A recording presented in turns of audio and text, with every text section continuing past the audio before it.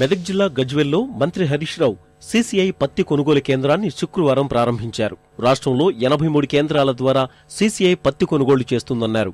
కేవలం దళారుల్ని నియంత్రించాలనే ఉద్దేశంతోనే పత్తి రైతు గుర్తింపు కార్డుల్ని ప్రవేశపెట్టామన్న మంత్రి హరీష్ సదరు రైతులు వీటిని సద్వినియోగం చేసుకోవాలని సూచించారు. రాష్ట్రంలో ఎనభై మూడు పత్తి కొనుగోలు కేంద్రాలు ప్రారంభం చేస్తా ఉన్నాం. ఇవాళ ఇక్కడ చేసినా నేను సిద్దిపేటలో కూడా దీని తర్వాత చేయబోతా ఉన్నా. ఈసారి ఎవరైతే పత్తి పండించేటువంటి రైతులున్నారో రైతుకు మద్దతు ధర దొరకాలి గిట్టుబాటు ధర దొరకాలి దళారులను నియంత్రించాలనేటువంటి ఉద్దేశంతో మొట్టమొదటిసారిగా ఈ పత్తి రైతు గుర్తింపు కార్డులను కూడా జారీ చేయడం జరిగింది.